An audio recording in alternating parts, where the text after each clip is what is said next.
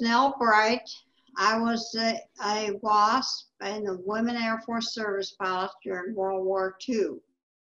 We were the best kept secret of World War II. Uh, there were a thousand women pilots during World War II, but very few people knew about it because they figured if the enemy knew that we were in bad enough shape to have to have the women fly the airplanes, why they could defeat us just pretty quick. Anyway, that uh, so that's who I am. I got interested in flying when I was eight years old. My dad took me out to um, uh, out to a pasture where there was an old plane landed and was taking people up and he asked me if I wanted to go up and and I said yes. So I got to go up in an open cockpit airplane when I was eight years old and I must have put that in the back of my mind because uh, after I finished uh, college and started taking flying lessons, so, but by the time Pearl Harbor and all that, I already had my private license and enough hours to qualify. And at that time, I was uh, waiting to fly one morning out at English Field there in Amarillo, and, and I saw this article, and, and at the end of the article about the women flying training service, and if I was interested to write to Jacqueline Cochran in Fort Worth, which I did. I got a letter from her to saying come to Fort Worth to be interviewed. And I did, and we had to be 21 and have 75 hours and a private pilot's lesson, which I had. So I was accepted into the seventh class. We had the same training as the men. We were the first women to be trained and fly the military airplanes.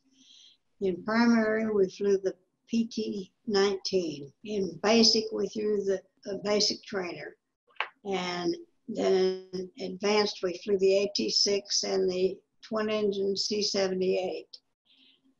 Uh, I went in in May of 1943 and uh, finished in uh, November, got my wings there were 20 out of our class picked to uh, go to B-25 transition school. The girls hadn't flown B-25s uh, before. Maybe some of them had in, a, in the, um, uh, that were in the ferry command. I'm not sure about that, but we were the first ones to train be in transition school. We logged about 165 hours between November and the middle of February, which was a lot of hours to log in that length of time. We were attached to the 3rd Air Force. And uh, there we trained the boys at Fort Bliss when they went overseas.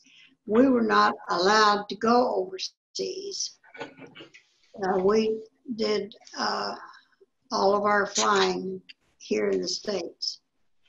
So we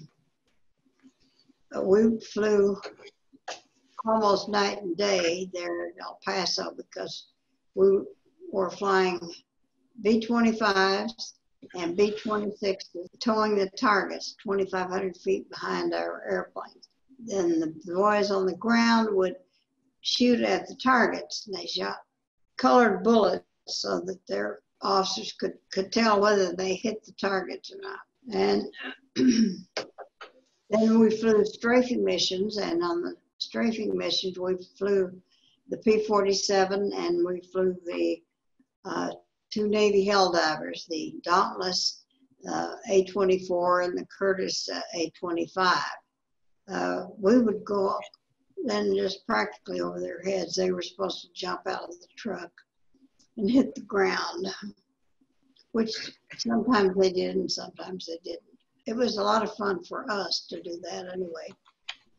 And then in the, at night, we flew the twin engine Beech, uh, the AT-7, the AT-11 to train the boys to using searchlights. We'd fly a pattern and then they would try to find it with the searchlights. One night we were towing targets at night for them to find the target and the flak started breaking in front of us rather than behind us, which was not a very good idea.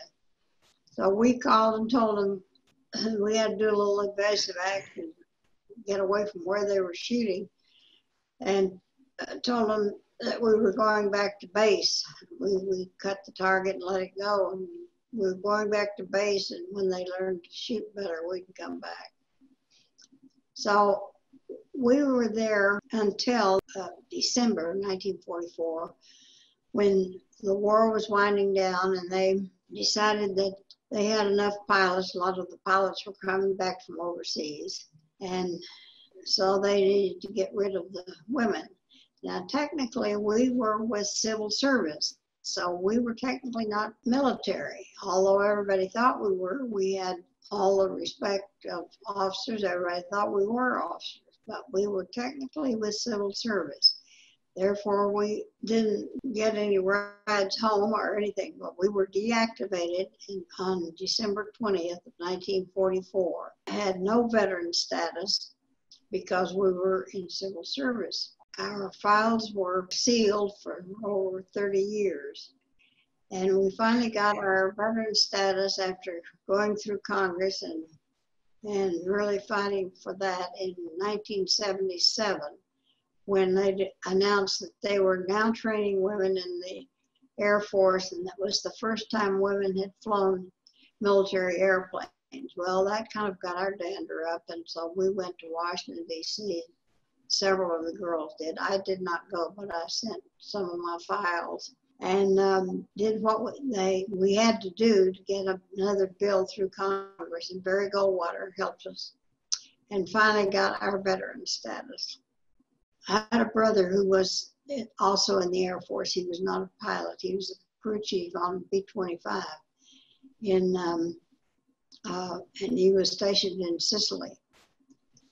And when he was uh, sent home to uh, be mustered out, that he had to come clear to El Paso where I was stationed. So I met him. We when uh, during those days you mostly took Greyhound buses to go clear across the country. And I told him that I had arranged with my commanding officer that, that he would uh, let me have a B 25 to take him home to Amarillo. And um, he said, Oh, no, I can just take the bus. So I said, No, we're going to fly. So one of the other girls that I flew with, uh, he was not very happy to get in to the B 25 with his little sister as pilot. And, uh, but uh, he sat back where the crew chief usually sat, did not look very comfortable at all. Tommy Thompson was with me, so Tommy and I had decided that that unbeknownst to him, we would do the Doolittle takeoff. And uh, so we taxied down to the end of the runway there. And of course, with the, that kind of takeoff, you hold the brakes really tight and then run the engines up almost full speed and then turn the brakes loose and you get off the ground pretty fast. That's what Doolittle had when he had the B 25s bombing Japan, he, they had to take off of a carrier, so they had to learn to get those B-25s off the carrier real fast. Well, my brother was not too happy. He was just white. Back. He was sitting back there thinking this was probably his last day on earth. So when we we got over Canyon, and I told him I thought we ought to go down and buzz our hometown and he didn't think that was necessary, but we did it anyway.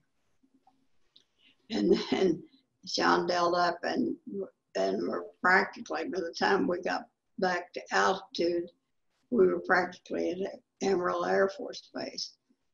So I have never seen anyone so glad to get off an airplane in my life as my brother was when he did not have anything to say whatsoever. I think he was shocked that he was still alive. so that was uh, something that, that Tommy and I both enjoyed. so uh, after all of us, of course, just went home after we were deactivated in 1944. At the end of 44, before the war was over. Went back home and went about our lives. Some of the girls kept flying, and, um, some of us, uh, another girl from Canyon and myself, we ferried some of the surplus airplanes from one base to the other. I don't know what the government was doing with them, but for a while after, but we decided that they were pretty beat up and not not very well taken care of because we were just taking them to a graveyard, to Wickenburg, Arizona, and Tucson, Arizona, and uh, that was about it. But we didn't do that very long. And but some of the girls did keep on flying, and some of them were instructors, and but it was very difficult because uh, you go to the airlines. We went to the airlines because we had a lot of experience, and ones of us that were in the early classes, and a lot of flying time. Uh, they uh, so that that was so something we thought we might do was get into the flying with the airlines. Well, they wouldn't even talk to us because women don't fly. So that was about the end of most of us. About the except every once in a while, you know, we got got to fly. So that's about the end of my story. I then became a stockbroker in Phoenix, Arizona, one of the first women stockbrokers in Phoenix. And I was a stockbroker for 50 years and finally retired from that when I was 85. And right now, if I make it till June, I'll have my 100th. Everybody during World War II wanted to do something for our country people people didn't really realize how close we were to Germans on the east coast and the Japanese on the west coast getting into our country. So we felt like we were doing our part anyway. Of course, we also enjoyed flying all those airplanes too. We flew about everything that the um, that the Air Force had. I was checked out on 12 different airplanes. So anyway, that's that's my story. And thank you very much for inviting me to do this.